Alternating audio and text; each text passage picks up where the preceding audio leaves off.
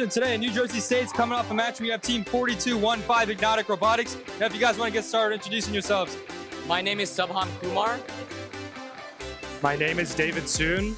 Uh, your intake has been pretty amazing. It's able to pick up samples very and specimens very efficiently, and uh, it's really helped reduce your amount of cycle times. So if you want to talk a little about what's special about this and how you made it happen, because I see you guys have your servo-driven connections, and this looks a little bit interesting. This looks interesting right here. Without further ado, let's get right into it. This video on fun is brought to you by our viewers, supporters, members, and also in partnership with the following. The new Robit system by AndyMark can reduce complexity and enable robust builds. Parts aligned to a common 1 2 inch grid, simplifying construction and allowing alignment of both structure and motion components. Robits enables teams to always have the parts they need to complete a build. Head on over to andymark.com slash robits to learn more and order today. True competitors know that every second counts. That's why Kettering University challenges you to dive in right away as a first year student. Participating in robotics programs helps Kettering students secure a valuable co op. Whatever your interest, Kettering gives you more space to work faster and win faster. Learn more at kettering.edu/slash first. Yeah, so this year at the beginning of the season, we had two options. We had either a pivot or a transfer system. Since last year, we decided to keep it very simple with linear slides. We decided that we would have the the uh, most optimal experience if we just decided to rig these three Axon Max servos. And as you see here, what's special about this is that two of these servos are used for the four bar mechanism here. So that controls that. And what this middle servo does is, is it allows us to have an, another degree of freedom here to have a lot of room for picking up different uh, specimens, different samples in, in different locations on the field. So before we had a point, we had a point in the middle where it was like kind of sloped like that, but then you could only grab from in the sample. But with this flat surface, the sample can be anywhere here. As long as the entire body of the sample is like anywhere within here, the claws can grab it because they can open really wide. And so this allows us to grab with like a huge amount of like uh, like freedom. Awesome. Yeah. Now let's go on to your uh, let's go on to your outtake here. Uh, it's counter springs, and you guys actually deployment in less than 0.5 seconds. I was noticing. You want to talk about a little bit how you actually made that happen? Yeah. So this is like one of the most unique parts of our robot. So the way this counter springing works is we have constant force springs. If you try to do continuous counter springing, then like it'll you can't counter spring the weight of the slides because if you try to counter spring the weight of the slides, it'll pop up when it's at the bottom.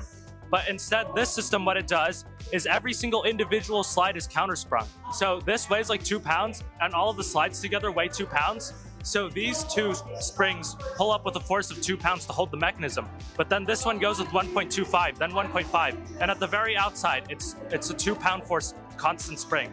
So all of this allows us to, all of this allows every single one to be uh, sprung individually, and it's extremely efficient because the motors only have to accelerate instead of fighting against gravity. So, so what type of issues did you guys really face implementing? Because it's a very unique system the way you guys did it.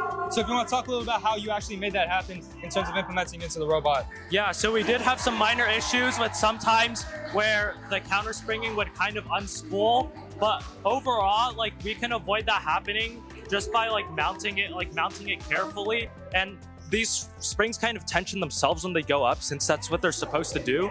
So all of this, like, uh, even though we had some minor issues at the beginning, after working through it, like these springs have been really uh, have been really good and reliable. That's really cool. Now going a little bit into your hang mechanism, how does your hang mechanism work? Yeah, so the hang mechanism, we didn't really want to add extra motors or that many actuators. So what we did was we we uh, rigged it onto the extension motors. So you can see here that the string is actually connected around a narrow part of our axle, so it's extremely high torque. This part, the extendo is fast, but here at its high torque, and with less extension, we're still able we're still able to pull up and hang. Now these upper hooks are meant to grab onto the third level bar, and what this will do is allow it so that our robot doesn't tip over when trying to hang and like unbalance onto the ground. And so what it does is we have these two axons here, but the axons would slow down our slides during during game. So in order to avoid that happening, we have the vertical, we have a lot of slack and we have the strings completely slack during the entire game just managed by these zip ties and rubber bands so that they don't they don't get tangled into any other mechanisms. And then at the end the axons can start rotating and start pulling the slides down. That's really cool. Now a little bit how does your how does your actual camera vision work and how you actually made it work so the camera we integrated it into our claw in a more recent design um, the what it does is it uses an OpenCV pipeline and it detects the contours of all of the samples. We use YCRCB to do it, and it's worked pretty well for us. That's really cool. Now, how else did you guys work and optimize your autonomous, and what programming challenges did you face throughout the season? Yeah, so the, one of the main things we did is implement a state machine system so we can effectively track basically all the different states our robot can be in at any time.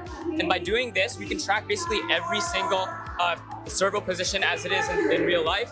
Uh, we also use motion profiling, profiling to smooth out movements, and some movements we want to do less aggressive than others because these Axon Maxes are really high torque and high speed.